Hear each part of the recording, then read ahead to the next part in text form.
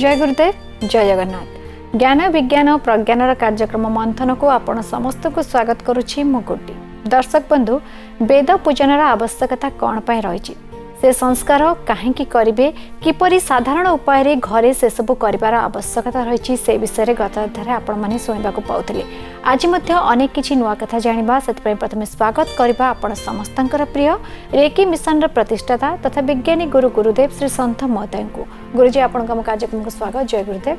ଆପଣ ସୁନ୍ଦର ଭାବରେ ଆମକୁ ବୁଝାଉଥିଲେ ବେଦ ପୂଜନରେ କ'ଣ କରିବାର ଆବଶ୍ୟକତା ରହିଛି ଛୋଟିଆ ଉପାୟ ଯାହା ଘରେ ମଧ୍ୟ ସମସ୍ତେ କରିପାରିବେ ସେ ସଂସ୍କାରକୁ ତେବେ ଆଜି କଥା କେଉଁଠୁ ଆରମ୍ଭ କରିବେ ଯାହା ଆମେ ସଂସ୍କାରରୁ ଆରମ୍ଭ କରିଥିଲେ ବେଦ ପୂଜନ କଥା ଏବଂ ପଛରେ ଚର୍ଚ୍ଚା କଲେ ଯେ କେବଳ ଗୋଟେ ସଂସ୍କାର ପାଇଁ ନୁହେଁ ଏମିତି ଘରେ ମଧ୍ୟ ସବୁଦିନ ପାଇଁ ରଖିବା ନିହାତି ଆବଶ୍ୟକ। ସତ୍ଗ୍ରନ୍ଥ ରହିବା ଦରକାର। ଯେଉଁଠି ସଦ୍ଗ୍ରନ୍ଥ ଅଛି ସେଠି ସତ୍ ଚରିତ୍ର ନିଶ୍ଚିନ୍ତ ଭାବରେ ସୃଷ୍ଟି ହେବ। ଦ୍ୱିତୀୟ ଯେ କେବଳ ପୂଜନ ପାଇଁ ଯେତେବେଳେ ଆମେ ରଖୁଛେ ଆଜି ନହେଲେ କାଲି ଆମ ଭିତରେ ସ୍ପୃହା ହେବ ଅଧ୍ୟୟନ ପାଇଁ। ଯେଉଁ ଅଧ୍ୟୟନରେ ଆମେ ନିଶ୍ଚିନ୍ତ ଭାବରେ ସତ୍ ଜ୍ଞାନ ଲାଭ କରିବୁ। ତ ପିଲାମାନଙ୍କୁ କୁପଥଗାମୀ ନ ହେବା ପାଇଁ ବହୁ ଅଭିଭାବକ ଆଜି ମଧ୍ୟ ଅଛନ୍ତି। ଯେତେବେଳେ ପିଲା ଭିତରେ କିଛି ବ୍ୟତିକ୍ରମ ଦେଖନ୍ତି ବା ପିଲାର କୌଣସି ବ୍ୟବହାରକୁ ସେମାନେ ସହ୍ୟ କରି ନପାରନ୍ତି ସେତେବେଳେ ସେମାନେ ପିଲାର ପରିବର୍ତ୍ତନ ଚାହାନ୍ତି ଏବଂ ପିଲାର ପରିବର୍ତ୍ତନ ପାଇଁ ଅନେକ ସମୟରେ ଅନେକ ପୂଜା ପାଠ କରି କେଉଁଠି ତାବିଜ ହେଉ କେଉଁଠି ଯନ୍ତ୍ର ହେଉ ସବୁ ପିଲାମାନଙ୍କୁ ଦିଆଯାଏ ପିଲାମାନଙ୍କର ପରିବର୍ତ୍ତନ ପାଇଁ। ସବୁଠୁ ବଡ଼ ତାବିଜ ବଡ଼ ଡେଉଁରିଆ ବଡ଼ ଯନ୍ତ୍ର ଯଦି ସଂସାରରେ କିଛି ଅଛି ବା ଆମ ବିଜ୍ଞାନରେ କିଛି ଅଛି ତାହେଲେ ସିଏ ହେଉଛି ସଦ୍ଗ୍ରନ୍ଥ। ତେଣୁ ଘରେ ଯେତେବେଳେ ଆମେ ସ୍ଥାପନ କରୁଛେ ବେଦ ଏବଂ ଭାଗବତକୁ ସେ ପିଲାମାନଙ୍କ ପାଇଁ ଗୋଟେ ଡେଉଁରିଆ ବା ତାବିଜ ଭଳି କାମ କରିବ। ଏବଂ ପିଲାମାନଙ୍କର ତାର ପ୍ରଭାବରେ ସେ ଶବ୍ଦର ପ୍ରଭାବରେ ତାର ଉପସ୍ଥିତିର ପ୍ରଭାବରେ ପିଲାମାନଙ୍କ ଭିତରେ ପରିବର୍ତ୍ତନ ଆସିବ। କିନ୍ତୁ ଆମେ ଚର୍ଚ୍ଚା କରୁଥିଲେ ସଂସ୍କାର କଥା ତ ଯେଉଁମାନେ ବ୍ରହ୍ମଚାରୀ ସେମାନେ ନିଶ୍ଚିନ୍ତ ଭାବରେ ବେଦ ପୂଜନ କରିବା ଆବଶ୍ୟକ ଅଛି ଏବଂ ବେଦ ଅଧ୍ୟୟନ ମଧ୍ୟ କରିବାର ଆବଶ୍ୟକ ଅଛି। ବେଦ ଅଧ୍ୟୟନ ପରେ ଆସୁଛି ବୈଶ୍ୟାନର ନମସ୍କାର ବା ବୈଶ୍ୟାନର ଦର୍ଶନ। ଏସବୁ ହେଲା ପରେ ଆମ ଭିତରେ ସବୁ ଦୋଷ ଦୁର୍ଗୁଣ ମଳି ଆମେ ଦୂର କରିବା ପାଇଁ ଚେଷ୍ଟା କଲେ ଏପର୍ଯ୍ୟନ୍ତ ବା ବେଦ ଅଧ୍ୟୟନ ବା ବେଦ ଦର୍ଶନ ପର୍ଯ୍ୟନ୍ତ।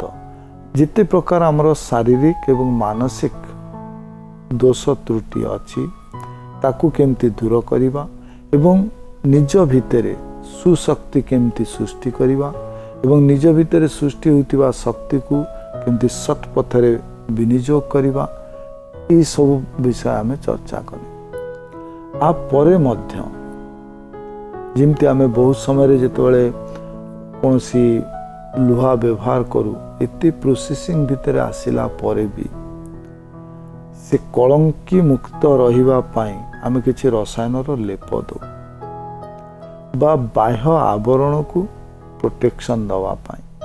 ବାହ୍ୟ ଆବରଣ ତାର କେମିତି ପରିସ୍ଥିତି ପରିବେଶ ଏବଂ ଜଳବାୟୁଠୁ ନିଜକୁ ମୁକ୍ତ ରଖିବ ଏବଂ କଳଙ୍କି ଲାଗିବ ନାହିଁ। ଠିକ୍ ସେମିତି। ପିଲାର କିଶୋର ଅବସ୍ଥାରୁ। ପିଲାଟିକୁ ଆମେ ସଜାଡ଼ିବା ପାଇଁ ସମ୍ପୂର୍ଣ୍ଣ ପ୍ରକାର ନିୟମ ସମ୍ପୂର୍ଣ୍ଣ ପ୍ରକାର ସଂସ୍କାରର ଯାହା ଯାହା ସଂସ୍କାର ଦରକାର ଆମେ ସଂସ୍କାରିତ କରୁଛେ। ଏବଂ ତାପରେ ମଧ୍ୟ ଆମ ମନ ଭିତରେ କିନ୍ତୁ ରହିଯାଏ। ଯେ କାଳେ କାରଣ ସବୁବେଳେ ଆମେ ଦେଖୁ ଗୋଟେ ପିଲା ଯଦି ଦୁଷ୍ଟ ହେଉଛି ତ ମା ବାପା ପ୍ରଥମେ ପିଲାଟିର କେଉଁଠି ଦୋଷ କରିଛି ଦେଖନ୍ତି ନାହିଁ। ସେମାନେ ଦୋଷ ଲଦି ଦିଅନ୍ତି ସାଙ୍ଗସାଥିମାନଙ୍କ ଉପରେ। ମୋ ପିଲାଟି ଭଲ କିନ୍ତୁ ସେ ସାଙ୍ଗର ପ୍ରଭାବ ପାଇଁ ବା ସେ ସାଙ୍ଗ ଶିଖେଇଲା ସେଥିପାଇଁ ସେ ଏମିତି କଲା। ତ ଯେଉଁ ଇନଫ୍ଲୁଏନ୍ସିଂ କ୍ୟାରେକ୍ଟର ବା ଅନ୍ୟ ଜଣଙ୍କ ଦ୍ୱାରା ପ୍ରଭାବିତ ହେବାର ଚରିତ୍ର ହେଉଛି କିଶୋର ଅବସ୍ଥା। ବା ଅନ୍ୟମାନଙ୍କ ଦ୍ୱାରା ବହୁତ ଶୀଘ୍ର ସେ ପ୍ରଭାବିତ ହେଇଯାଏ। ପିଲାଟିର ଛୋଟବେଳୁ କୌଣସି ବ୍ୟବହାରିକ ଦୋଷ ନଥାଏ। ସେ କାହାର କାହାରକୁ ଦେଖି ତାକୁ କିଛି ଜିନିଷ ଭଲ ଲାଗେ ଯାହାକୁ ସେ ଅନୁକରଣ କରିବା ପାଇଁ ଚେଷ୍ଟା କରେ।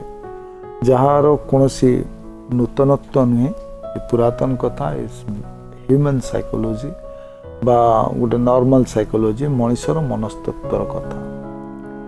ଯାହାଙ୍କୁ ଆଜି ଆମେ ପୂଜା କରୁଛେ ଜାତିର ଜନକ ବୋଲି ରାଷ୍ଟ୍ର ପିତା ବୋଲି।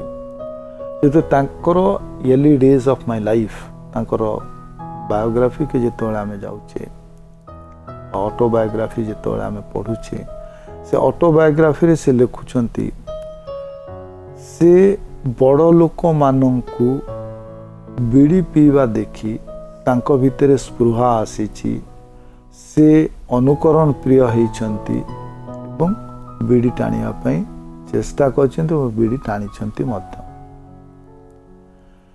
ତା ପର ମୁହୂର୍ତ୍ତରେ ସେ ରେକ୍ଟିଫାଏ କରିଛନ୍ତି ନିଜକୁ। କେମିତି ନା ସ୍ୱୀକାର କରି ଏବଂ ସେ ଅଭ୍ୟାସରୁ ନିଜକୁ ଦୂରେଇ। ଯେତେବେଳେ ଯାହା ଆମେ କହୁ ଯେ ତୁଳସୀ ଦୁଇ ପତ୍ରରୁ ବାସେ। ଯେତେବେଳେ ଏତେ ଉର୍ଦ୍ଧ୍ୱତର ଚେତନା ଏବଂ ଚିନ୍ତାରେ ଜଣେ ବ୍ୟକ୍ତି ଆସିଛି ସେ ବ୍ୟକ୍ତିର କିଛି ପ୍ରତିଫଳନ ଶିଶୁ ଅବସ୍ଥାରେ ମଧ୍ୟ ଥିଲା। ଏତେ ଭଲ ଗୁଣର ଅଧିକାରୀ ହେଇ ମଧ୍ୟ ସେ ଇନଫ୍ଲୁଏନ୍ସ ହେଇଥିଲେ। ଯେ ଇନଫ୍ଲୁଏନ୍ସ ହେବା ବା ଅନ୍ୟ ଦ୍ୱାରା ପ୍ରରୋଚିତ ହେବା ଅନ୍ୟକୁ ଅନୁକରଣ କରିବା ଏ ମଣିଷର ସ୍ୱାଭାବିକ ଗୁଣ। ତ କିଶୋର ଅବସ୍ଥାରେ ବେଶୀ ଅନୁକରଣ ପ୍ରିୟ।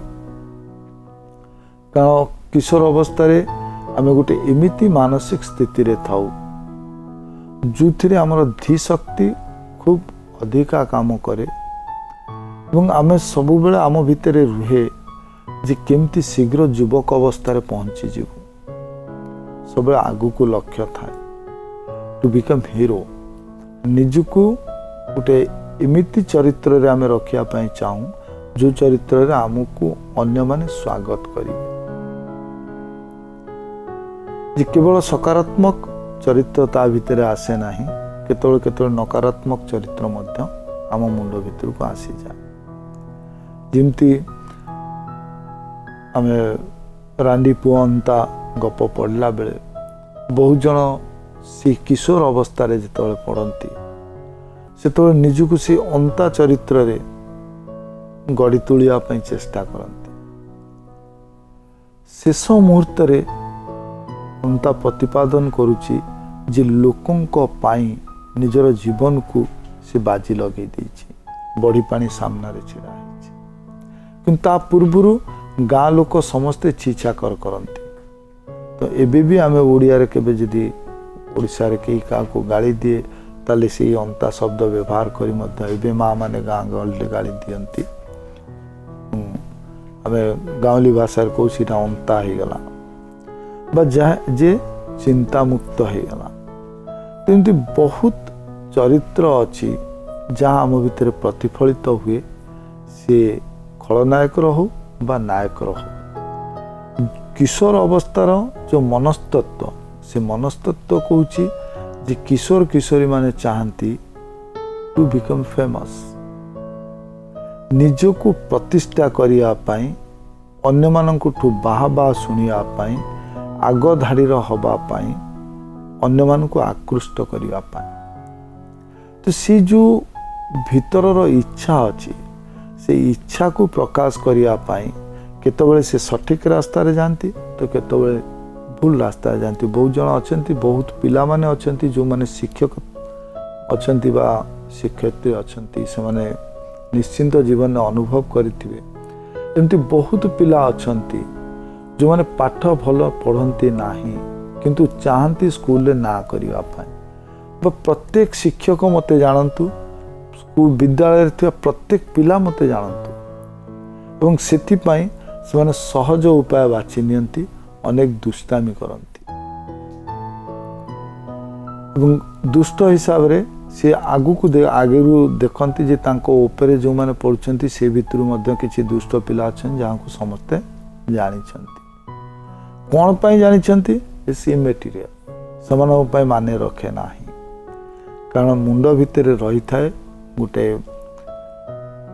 ସ୍ୱପ୍ନ I become famous familiar in unfamiliar way to ସେ ରାସ୍ତାକୁ ଆଉ ଦେଖ ନାହିଁ ଯେ ଯେଉଁ ରାସ୍ତାରେ ଆମେ ନିଜର ପରିଚୟ ଅର୍ଜନ କରିବା ପାଇଁ ଯାଉଛୁ ସେ ରାସ୍ତା ସଠିକ୍ ନା ନାହିଁ ତାହା ଚିନ୍ତା କରିବାର ଶକ୍ତି ସେମାନଙ୍କ ପାଖରେ ନଥାଏ ତେଣୁ ଇନଫ୍ଲୁଏନ୍ସ ହେବା ଅର୍ଥ ଅନ୍ୟମାନଙ୍କ ଚରିତ୍ର ଅନ୍ୟମାନଙ୍କର ଗୁଣ ନିଜ ଉପରେ ପ୍ରତିଫଳିତ ହେଇଯିବ ବା ଲଦି ହେଇଯିବ ଆମ ଅଜାଣତରେ ଆମେ ଏମିତି କିଛି କରିଦେବୁ ଯାହା ଆମ ଚରିତ୍ରର ଅନୁକୂଳ ନୁହେଁ।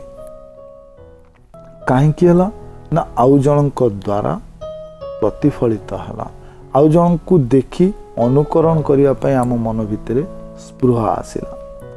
ତେଣୁ ଏଇ ଯେଉଁ କଳଙ୍କି ଲାଗିବା କଥା ବା ରଷ୍ଟ ଯେଉଁ ଅନ୍ୟମାନଙ୍କର ଛାପା ନିଜ ଉପରକୁ ଆସିଯିବା ସେଥିରୁ ମଧ୍ୟ ମୁକ୍ତି କରିବା ପାଇଁ ଆମ ମହାପୁରୁଷମାନେ ଚିନ୍ତା କରିଛନ୍ତି।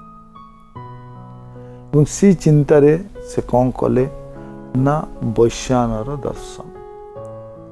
ବା ଯେଉଁଠି ହୋମ ହେଉଛି ଯଜ୍ଞ ହେଉଛି ସେ ଅଗ୍ନିଙ୍କୁ ଦର୍ଶନ କରିବା ପାଇଁ। ଯେତେବେଳେ ସେ ଅଗ୍ନିଙ୍କ ଦର୍ଶନ କରିବ ଆମ ଭିତରେ ଆଉ ଯେଉଁ କିଞ୍ଚିତ ମଇଳା ଅଛି ସେ ମଧ୍ୟ ଦୂର ହେଇଯିବ। ଆମ ଭିତରେ ଯେଉଁ ଉତ୍ତାପର ସ୍ପର୍ଶରେ ଆମ ଭିତରେ ଥିବା କଳଙ୍କିତ ପଦାର୍ଥ ଦୂରୀଭୂତ ହେଇଯିବ ଆମ ଭିତରେ କର୍ତ୍ତବ୍ୟନିଷ୍ଠା ଆସିବ ଆମ ଭିତରେ ଶାଶ୍ୱତ ଆସିବ ଆମ ଭିତରେ ସଚ୍ଚିନ୍ତା ଆସିବ। ଯେଉଁଥିପାଇଁ କେବଳ ଏଇ ସଂସ୍କାରରେ ହିଁ ବୈଶ୍ୟାନର ଦର୍ଶନକୁ ବନ୍ଦ କରି ଦିଆଗଲା ନାହିଁ। ଯୋଗ ପଦ୍ଧତିରେ ମଧ୍ୟ ତାକୁ ବୈଶ୍ୟାନର ଦର୍ଶନ ପାଇଁ ଆମେ ତ୍ରାଟକ ଯୋଗକୁ ଆସିଲେ। ସାଂସାରିକ ନିୟମ ଅନୁସାରେ ଅନେକ ବିଦ୍ୱାନଙ୍କର ପ୍ରରୋଚନାରେ ଘରେ ସଂକ୍ରାନ୍ତି ହେଉ ପୂର୍ଣ୍ଣମୀ ହେଉ ବା ଅମାବାସ୍ୟା ହେଉ ଏମିତି କିଛି ତିଥି ବାଛି ନେଲେ ଯେଉଁଠି ଘରେ ହୋମ କରାଗଲା ବା ବୈଶ୍ୟାନର ଦର୍ଶନ କରିବାର ସୁଯୋଗ ଯୋଗାଇ ଦିଆଗଲା। ତ ପ୍ରତ୍ୟେକ ଘରେ ଯଦି ଆମେ କଳଙ୍କି ମୁକ୍ତ ଜୀବନ ଚାହୁଁଛେ ବା ଆମକୁ କଳଙ୍କିରୁ ମୁକ୍ତ ରଖିବା ପାଇଁ ଚାହୁଁଛେ ଡି ଅକ୍ସାଇଡ୍ ବା ଆମେ ଏମିତି ହେଇଯିବା ଯେ ଆମ ଭିତରେ କଳଙ୍କି ଧରିବ ନାହିଁ। ଯେତେ ସ୍ପର୍ଶ ଆସୁ ସଂସ୍ପର୍ଶ ଆସୁ। କା ଅନୁକରଣ ପ୍ରିୟ ହେଇ ଅନୁକରଣ କରିବାକୁ ଯାଇ ପ୍ରତ୍ୟେକ ଜାଗାରେ କେବଳ ଯେ କିଶୋର ଅବସ୍ଥାରେ ନୁହେଁ ପ୍ରୌଢ଼ ଅବସ୍ଥାରେ ମଧ୍ୟ ଆମ ଭିତରେ ଦ୍ୱନ୍ଦ୍ୱ ଆସିଛି ଆମ ଭିତରେ ନିଚ ମନତା ଆସିଛି ଆମ ଭିତରେ ହୀନମନତା ଆସିଛି ଆମ ଭିତରେ ଚୌର୍ଯ୍ୟବୃତ୍ତି ଆସିଛି। ଯେତେ ନକାରାତ୍ମକ କଥା ଆମ ଭିତରେ ଆସିଛି। ତେଣୁ ସେଥିରୁ ମୁକ୍ତି ପାଇବା ପାଇଁ ପ୍ରତ୍ୟେକ ଘରେ ମାସରେ ଥରେ କୌଣସି ବାର ସଂକ୍ରାନ୍ତି ହେଉ ଅମାବାସ୍ୟା ହେଉ ପୂର୍ଣ୍ଣମୀ ହେଉ କୌଣସି ଦିନ ଆମେ ଗୋଟେ ହୋମର ଅନୁଷ୍ଠାନଟେ କରିବା ଉଚିତ ବା ଅଗ୍ନି ପ୍ରଜ୍ୱଳିତ କରିବା ଦରକାର। ଯେଉଁଥିରେ ପିଲାମାନେ ଯେତେବେଳେ ବୈଶାନର ଦର୍ଶନ କରିବେ ବା ପରିବାରର ସଦସ୍ୟମାନେ ବୈଶାନର ଦର୍ଶନ କରିବେ ତାଙ୍କ ଭିତରେ ଥିବା କଳଙ୍କ ନିଶ୍ଚିନ୍ତ ଭାବରେ ଦୂରୀଭୂତ। ବିରତି ପୂର୍ବରୁ ଆପଣମାନେ ସଂସ୍କାର ବିଷୟରେ ଜାଣିବାକୁ ପାଉଥିଲେ ଅନେକ କଥା। ଏବେ କିନ୍ତୁ ଗୁରୁଜୀ ଦେଖିବା ଚିଠିରେ କିଏ କ'ଣ ଜାଣିବାକୁ ଚାହିଁଛନ୍ତି?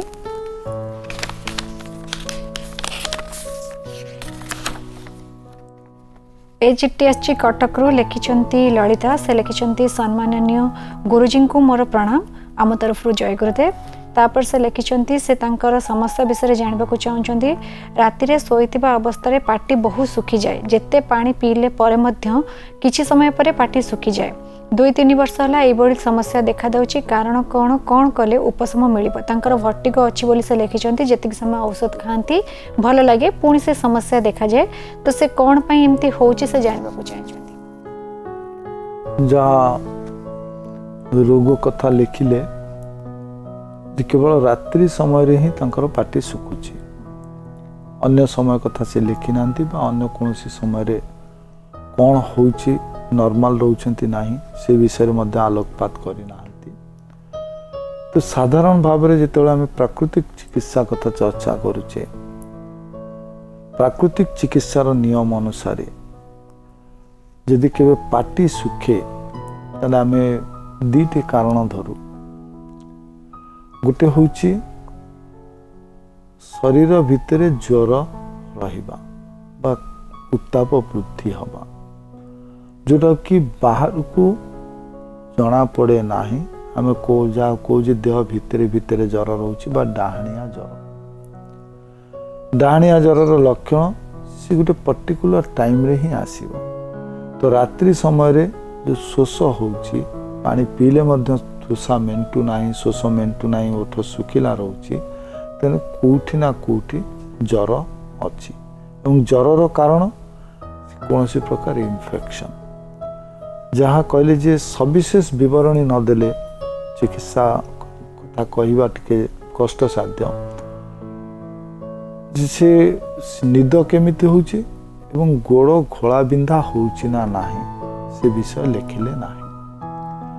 ଯଦି ଗୋଡ଼ ଘୋଳା ବିନ୍ଧା ହେଇକି ପ୍ରତି ଜଏଣ୍ଟ ଦରଜ ହେଉଛି ଏବଂ ପାଟି ଶୁଖୁଛି ତାହେଲେ ଅପର ରେସ୍ପିରେଟୋରୀ ପ୍ରୋବ୍ଲେମ୍ ବା କେଉଁଠି ଲଙ୍ଗସରେ ଇନଫେକ୍ସନ୍ ଅଛି ସିଓପିଡି ଥାଇପାରେ ବା ଆସ୍ତମା ବ୍ରୋଙ୍କାଇଟିସ୍ ଥାଇପାରେ ବା ଏମିତି ଜନ୍ମଗତ ତାଙ୍କର ଲଙ୍ଗସର ଯେଉଁ ଫଙ୍କସନ୍ ଅଛି ଲଙ୍ଗସର ଫଙ୍କସନ୍ ନର୍ମାଲ ନଥାଇପାରେ ତ ଚେଷ୍ଟରେ କେଉଁଠି ଗୋଟେ ଛାତିରେ କେଉଁଠି ଗୋଟେ ଇନଫେକ୍ସନ୍ ଅଛି ଯେଉଁଥିପାଇଁ ତାଙ୍କୁ ଜ୍ୱର ହେଉଛି ଯଦି ଦିନ ବେଳେ ଚାଲିଲା ବେଳେ ତାଙ୍କର ଥାଇ ପାୱାର କମିଯାଏ ବା ଜଙ୍ଘରେ ଶକ୍ତି କମିଯାଏ ଜଙ୍ଘ ପଛପଟ ଦରଜ ରୁହେ ବା ବସିକି ହଠାତ୍ ଉଠିଲେ ଜଙ୍ଘ ଯେତିକି ଶକ୍ତି ଦେବା କଥା ସେତିକି ଶକ୍ତି ନ ନିଏ ଏବଂ ମଝିରେ ମଝିରେ ପେଟରେ ପରିବର୍ତ୍ତନ ଆସେ କେତେବେଳେ ଟାଣ ହେଇଯିବ କେତେବେଳେ ନରମ ହେଇଯିବ। ପେଟ ତଳି ପେଟରେ ଯଦି କୌଣସି ଯନ୍ତ୍ରଣା ରୁହେ ତାହେଲେ ଆମେ ଜାଣିବୁ ଯେ urinary tract U T I problem ବା ପରିସ୍ରା ନଳୀରେ କୌଣସି ଯନ୍ତ୍ରଣା ଅଛି ବା ଇନଫେକ୍ସନ୍ ଅଛି ବା ୟୁରିନ୍ ଇନଫେକ୍ସନ୍ ଅଛି। ଯେଉଁଥିପାଇଁ ତାଙ୍କୁ ଜରୁଆ ଜରୁଆ ଲାଗିଲେ ମଧ୍ୟ ଜ୍ୱର ବାହାରକୁ ଜଣାପଡ଼େ ନାହିଁ। ସେଥିପାଇଁ ସେ ପାଣି ପିଇବା ପାଇଁ ଚାହାନ୍ତି ଏବଂ ପାଣି ପିଇଲା ପରେ ମଧ୍ୟ ତୁଷା ମେଣ୍ଟେ ନାହିଁ। ଏଇ ଦୁଇଟି ପରିସ୍ଥିତିରେ ଚିକିତ୍ସା ଭିନ୍ନ। ଯଦି ଲଙ୍ଗସରେ ଇନଫେକ୍ସନ୍ ରହୁଛି ତାଙ୍କୁ ଖୁଁ ଖୁଁ କାଶ ହେବା କଫ ପଡ଼ିବା ବା ଫ୍ରିକ୍ୱେଣ୍ଟଲି ଥଣ୍ଡା ହେଉଥିବ ଯଦି ସେ ଜାଣିଲେ ଛାତିରେ ଯନ୍ତ୍ରଣା ରହୁଥିବ କାରଣ ଛାତିରେ ଇନଫେକ୍ସନ୍ ହେଲେ ଜଣାପଡ଼ିଯିବ। ଯଦି ଏସବୁ ଥାଏ ତାହେଲେ ଇନହେଲ୍ କରିବା ନିହାତି ଦରକାର ବା ନାକରେ ନାଜଲ୍ ଡ୍ରପ୍ ପକାଇବା ଦରକାର। ପ୍ରାକୃତିକ ଚିକିତ୍ସା ଅନୁସାରେ ଆମେ ଅଣସୋରିଷା ପତ୍ରର ରସ ପକାଇବା। ଯେତେବେଳେ ଅଣସୋରିଷା ପତ୍ରର ରସ ପକାଉଛେ ସେତେବେଳେ ଆମର ନାଜଲ୍ ପ୍ୟାସେଜ୍ ଖୋଲିଯିବ ଏବଂ ତା ସହିତ ଶ୍ୱାସକ୍ରିୟା ଯେତେବେଳେ ସ୍ୱାଭାବିକ ହେଇଯିବ ସେତେବେଳେ ଲଙ୍ଗସରେ ଥିବା ଇନଫେକ୍ସନ୍ ମଧ୍ୟ କମିବ। ଏବଂ ତା ସହିତ ସପ୍ତାହରେ ଥରେ ଶୁଖିଲା ଅରଖ ପତ୍ର ଯାହା ଗଛରୁ ଝଡ଼ିକି ପଡ଼ିଥିବ ତୋଳିକି ଶୁଖେଇବେ ନାହିଁ। ଯାହା ଗଛରୁ ଝଡ଼ିକି ପଡ଼ିଯାଇଥିବ ଶୁଖିଲା ପତ୍ର ସେ ଶୁଖିଲା ପତ୍ରକୁ ଆଣି ଘରର ଗୋଟେ କୋଣରେ ଯେମିତି ଆମେ ଝୁଣା ଦେଉ ସେମିତି ଧୂଆଁ କରିବେ ଏବଂ ଅପର କୋଣରେ ବସିବେ ଆଖି ବନ୍ଦ କରି ଏବଂ ଆଘ୍ରାଣ କରିବେ ସେ ଧୂଆଁକୁ। ତାହେଲେ ଇନଫେକ୍ସନ୍ ଦୂର ହେବ। ଯଦି ୟୁରିନାରୀ ଟ୍ରାକ୍ରେ ପ୍ରୋବ୍ଲେମ୍ ଅଛି ବା ପରିସ୍ରା ନଳୀରେ ବା ପରିସ୍ରା ଜନିତ କୌଣସି ପ୍ରକାର ଇନଫେକ୍ସନ୍ ହେଇ ଏମିତି ହେଉଛି ତାହେଲେ ମଧ୍ୟ ଶୋଷ ହେବ ଜ୍ୱର ଜ୍ୱର ଲାଗିବ ତୋଷା ମେଣ୍ଟିବ ନାହିଁ। ତ ସେ ସମୟରେ ଉଷୁମ ପାଣି ପିଇବା ନିହାତି ଦରକାର। ଯେତେବେଳେ ଶୋଉଛନ୍ତି ସେତେବେଳେ ଉଷୁମ ପାଣି ପିଇକି ଶୋଇବେ। ଯଦି ତଳିପେଟ ଦରଜ ହେଉଛି ବା ତଳିପେଟରେ କୌଣସି ଯନ୍ତ୍ରଣା ହେଉଛି ବା ତଳିପେଟରେ ହାର୍ଡନେସ୍ ଆସୁଛି ବା ଟାଣ ହେଇଯାଉଛି ତାହେଲେ ସେ ନର୍ମାଲ ପାଣି ନ ପିଇ ନଖ ଉଷୁମ କରି ପାଣି ସବୁବେଳେ ପିଇବା ଦରକାର। ଏବଂ ରାତିରେ ନିର୍ମୂଳି ଲଟା କୋଡ଼ିଏ ଗ୍ରାମ ଓଜନର ଗୋଟେ ଗ୍ଲାସ୍ ପାଣି ବା ଟୁ ହଣ୍ଡ୍ରେଡ଼ ଏମ୍ ଏଲ୍ ଦୁଇଶହ ମିଲିଲିଟର ପାଣିରେ ତାକୁ ବୁଡ଼େଇକି ରାତିରେ ରଖିବେ। ଏବଂ ସକାଳୁ ଉଠି ସେ ନିର୍ମୂଳି ଲଟାକୁ କାଢ଼ିଦେବେ ସେ ପାଣିଟି ପିଇବେ। ଆ ଦ୍ୱାରା ଯେଉଁ ଇନଫେକ୍ସନ୍ ଅଛି ବା ଯେଉଁଥିପାଇଁ ତାଙ୍କର ଓଠ ଶୁଖୁଛି ସେଥିରୁ ଦୂର ହେବ। ତାପରେ ତୃତୀୟ କାରଣ ଯଦି ଜ୍ୱର ଇଏ ନାହିଁ କାରଣ ସବୁବେଳେ ଆମେ ଚର୍ଚ୍ଚା କରୁ ଯେ ରୋଗ କଥା ଜଣେ ରୋଗୀ ପଚାରନ୍ତି କିନ୍ତୁ ଉତ୍ତର ସମଷ୍ଟିଗତ ହେଇଯାଏ। ତୃତୀୟ କାରଣ ସେ ଯାହା ସମ୍ମୁଖରେ ପଚରାଯାଏ ବହୁତ ସମୟରେ ମାନସିକ ସ୍ଥିତି ପାଇଁ ଏ ପ୍ରକାର ରୋଗ ଦେଖାଦିଏ। ତ ଏଠି ତ ସେ ଲେଖିନାହାନ୍ତି ନିଜର ପରିବାର କଥା ପରିବାରରେ କେତେ ଜଣ ଅଛନ୍ତି ପରିବାର ଲୋକଙ୍କ ସହିତ ସମ୍ପର୍କ କ'ଣ ପରିବାରର ଆର୍ଥିକ ଅବସ୍ଥା କ'ଣ ପରିବାର ଉପରେ କ'ଣ ବୋଝ ଅଛି। ବହୁତ ସମୟରେ ଯେତେବେଳେ ଆମକୁ ଡିପ୍ରେସନ୍ ହୁଏ ବା ଆମେ ଯେତେବେଳେ ଚାପଗ୍ରସ୍ତ ହେଇଯାଉ ଆମେ ଚାପର ପ୍ରଭାବରେ ଚାଲି ଆସୁ ସେତେବେଳେ ଆମକୁ ସୁଖ ନିଦ୍ରା ହୁଏ ନାହିଁ। ଏବଂ ଯେତେବେଳେ ଯେତେବେଳେ ଆମେ ଆଖି ବନ୍ଦ କରୁ ସେତେବେଳେ ଭୟ ଆସେ। ଏବଂ ତାକୁ ଜାଣିବା ପାଇଁ ଉପଯୁକ୍ତ ସମୟ କ'ଣ? ବା ଉପଯୁକ୍ତ କେମିତି ଜାଣିପାରିବେ ଯେ ଡିପ୍ରେସନ୍ ହେଇଛି ବୋଲି? ଯେତେବେଳେ ସେ ଗାଧଉଛନ୍ତି ଆଖି ବନ୍ଦ କରିକି ମୁଣ୍ଡରେ ପାଣି ଢାଳିଲା ବେଳକୁ ସେ ଇରିଟେସନ୍ ଫିଲ୍ କରୁଛନ୍ତି ନା ନାହିଁ ବା ଫଟକି ଚାହୁଁଛନ୍ତି ଆଖି ଖୋଲିଦେବି ବୋଲି ନା ନାହିଁ ଆଖି ବନ୍ଦ କରିକି ରହିପାରିବେ ନାହିଁ ତ ସେଥିରୁ ନିଜେ ଜାଣି ହେବ ଯେ ଡିପ୍ରେସନ୍ ଅଛି ନା ନାହିଁ ଓ ସେ ଡିପ୍ରେସନ୍ର କାରଣ କ'ଣ ସେତକ ଜାଣି ନିଜେ ଚେଷ୍ଟା କରିବା କଥା ଦୂରେଇବା ପାଇଁ କିନ୍ତୁ ପ୍ରାକୃତିକ ଚିକିତ୍ସାରେ ଯଦି ଡିପ୍ରେସନ୍ ପାଇଁ ହେଉଥାଏ ପରିବାରରେ କୌଣସି ଅଶାନ୍ତି ଥାଏ ସିଏ କାହା ଉପରେ ସନ୍ତୁଷ୍ଟ ନଥାଇ ପାରନ୍ତି ଏବଂ କୌଣସି ବିପଦର ଆଶଙ୍କା କରୁଥାନ୍ତି ଏବଂ ଶୋଇଲା ବେଳେ ସେହି ଘଟଣା ହିଁ ମୁଣ୍ଡ ଭିତରେ ଆସେ ଏବଂ ଭୟ ସୃଷ୍ଟି କରେ। ଯଦି ଏମିତି କିଛି ଘଟଣା ହେଇଥାଏ ଏମିତି କିଛି ଘଟଣା ଥାଏ ତାହେଲେ ଜାଇ ଫଳ ଆଣି ତାକୁ ରାତିରେ ପାଣିରେ ବତୁରେଇବେ। ଗୋଟେ ଦିନ ରହିଲା ପରେ ତା ପରଦିନ ରାତିରେ ଶୋଇବାକୁ ଯିବା ପୂର୍ବରୁ ଖୁବ୍ କମ୍ ପାଣିରେ ଗୋଟେ କପ୍ ପାଣିରେ ଗୋଟେ ଯାଇତ୍ରୀ ଫଳ। ସେ ପାଣିଟି ସେ ପିଇକି ରାତିରେ ଶୋଇବେ। ଯଦି ଯାଇତ୍ରୀ ଫଳର ଏ ବ୍ୟବହାର କରୁଛନ୍ତି ଆକୁ ଯଦି ସେ ଔଷଧ ଭଳି ଗ୍ରହଣ କରୁଛନ୍ତି ଡିପ୍ରେସନ୍ ଦୂର ହେବ ତାଙ୍କର ଶୋଷ ମେଣ୍ଟିଯିବ ଓଠ ଆଉ ଶୁଖିବ ନାହିଁ ଏବଂ ସୁଖ ନିଦ୍ରା ହେବ। আজ্ঞা গুরুজী অনেক ছোট ছোট কথা আপনার বুঝাইছেন আশা যে সে নিশ্চয় করবে এবং পুঁ থাকে আমি চিঠি লিখবে তবে গুরুজী আজ সময় সজাইছি বহুত বহুত ধন্যবাদ জয় গুরুদেব দর্শক বন্ধু ছোট ছোট কথা পুঁ ছোট ছোট প্রশ্ন তার উত্তর যা কি আমার সমস্ত কামরে আসে যদি আপনার মনে সেমিতি কিছু প্রশ্ন অছি বি জাঁয়া চাহুন তাহলে মন্থনকু আপন মানে চিঠি লিখিপারে চিঠির অপেক্ষায় রহলু পুঁ দেখা হব মন্থনরে অধায়িত কথা সহ পুঁ আসবু এই মন্থনরে সে পর্যন্ত বিদায় দিও জয় গুরুদেব